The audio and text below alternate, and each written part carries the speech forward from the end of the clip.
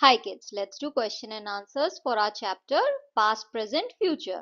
तो पहला क्वेश्चन क्या है? Read the poem aloud using proper rhythm and intonation तो ये पोएम जो है आपको ये प्रॉपर रिदम और इंटोनेशन के साथ पढ़नी है। इंटोनेशन का मतलब क्या होता है? आप जब कोई चीज़ बोल रहे होती हो तो आपकी वॉइस में जो उतार चढ़ाव आ रहा है राइट अगर आप कोई एक्साइटिंग चीज़ किसी को बता रहे हो तो वॉइस अपने आप ऊपर चली जाती है। कोई दुख की बात हो, कोई सैड बात हो तो आप अपने आप वो वॉइस को धीमा कर देते हो। तो वॉइस में जो, उसके जो आवाज़ जो है, उसमें जो चेंज आ रहा है, जो ऊपर नीचे हो रहा है डेसिबल्स जो ऊपर नीचे जा रहे हैं, उसे जो है हम इंटोनेशन कहते हैं। तो चलिए हम अपनी पोएम एक बार पढ़ लेते हैं।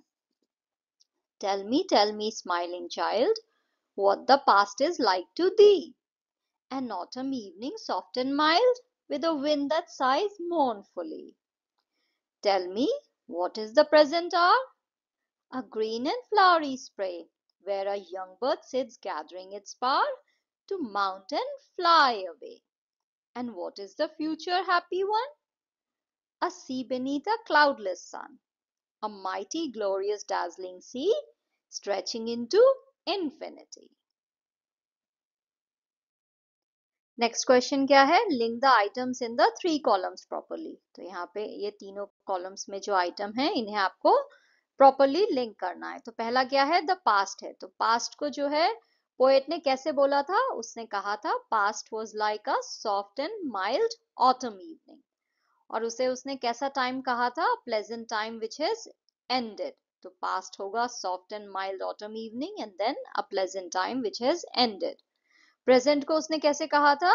A green and flowery spray where a young sits and then a time full of life in which you gather strength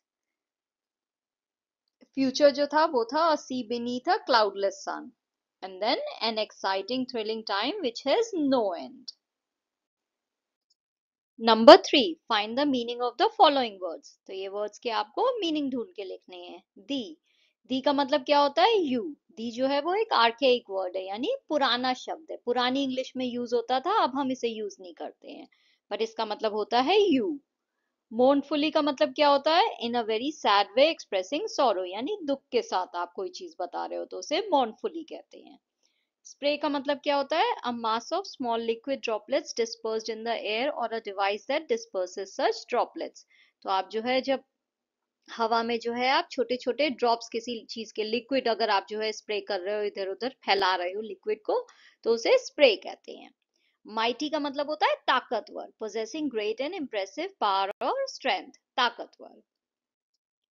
Number four write the adjectives that are use to describe the following तो इन चीज़ों को कैसे कवि ने describe किया है? Evening को उसने कैसे बोला है? सॉफ्ट एंड माइल्ड तो इवनिंग कैसी थी? सॉफ्ट एंड माइल्ड Spray कैसा green and flowery. See, mighty, glorious and dazzling. Write one line about each of the following with the help of the poem. Wind in the autumn evening, its sighs expressing sadness. Young bird on the spray sits on the flowery branch gathering all its physical and mental strength to explore the blue sky. The sea, the sea beneath the cloudless sun is vast and as it stretches endlessly, it displays glorious beauty. Next है हमारा language study तो यहाँ पे हमें simile और metaphor के बारे में बताया जा रहा है। ये दोनों क्या है? ये फिगर ऑफ़ स्पीच है। तो सिमिली क्या होता है? जब आप दो चीज़ों का कंपैरिजन कर रहे हो जिनमें थोड़ा बहुत कुछ कॉमन है और वो कंपैरिजन करते हुए आप वर्ड्स यूज़ करते हो एज या फिर लाइक like, तो वो होता है सिमिली तो आपने कोई भी पोएम देखो उसमें किसी लाइन में जो है अगर वर्ड्स यूज़ हो रहे हो एज और लाइक जैसे वर्ड्स एंड दो चीज़ों का कंपैरिजन हो रहा है तो आपको समझ में आ जाएगा ये सिमिली का यूज़ हो रहा है यहाँ पे। जैसे कि हो as tall as a tree as lovely as a flower कि फूल की तरह खूबसूरत, पेड़ की तरह लंबा तो आप एज ये जो वर्ड यूज़ कर रहे हो या फिर लाइक like अगर यूज़ करो तो वो जो है वो फिगर ऑफ़ स्पीच सिमिली होता है। कंपैरिजन हो रहा है बट वर्ड्स के साथ हो रहा है। एज और लाइक वाले वर्ड्स यूज़ हो रहे हैं कंपैरिजन के लिए। मेटाफर क्या होता है? मेटाफर में भी दो चीज़ों का कंपैरिजन हो रहा है। बट आप उसमें ये नहीं कह रहे हो कि उसकी तरह, आप उसे वही कह दे रहे हो। आप ऐसे कह रहे हो कि फूल की तरह खूबसूरत नहीं है, फूल ही है। कि वो लड़की जो है, वो फूल की तरह खूबसूरत नहीं है, वो लड़की गुलाब का फूल है। अगर आपने ये कह दिया तो वहाँ पे मेटाफर यूज़ हुआ है। लेकिन अगर आप ये कहो कि वो लड़की गुलाब के फूल की तरह खूबसूरत है तो वो सिमिली है। तो जहाँ पे आप उसको उसके जैसा, दूसरी चीज़ के जैसा ही कह दो, वो जो है मेटाफर होता है। जैसे कि तरह, जैसे कि यहाँ पे आपने कहा टाइम इज़ मनी समय जो है वो पैसा है। आप ये नहीं कह रहे हो टाइम इज़ लाइक मनी नहीं, आपने ये नहीं कहा। आपने कहा टाइम इज़ मनी समय जो है वो पैसा है। तो आपने यहाँ पे मेटाफर यूज़ किया। अगर आप कहते टाइम इज़ लाइक मनी तो ये सिमिली हो जाता।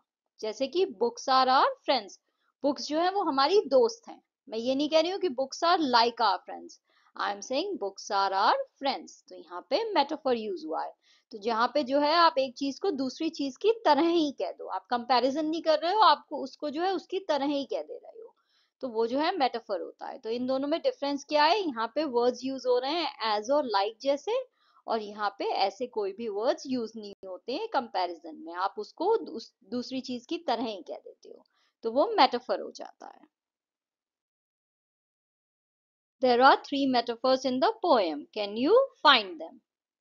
The three metaphors are What is the past like to thee? An autumn evening soft and mild. तो यहाँ पे past को compare किया गया है autumn evening से. Tell me what is the present hour? A green and flowery spray. यहाँ पे present को compare किया गया है green और flowery spray से. And what is the future happy one? A sea beneath a cloudless sun.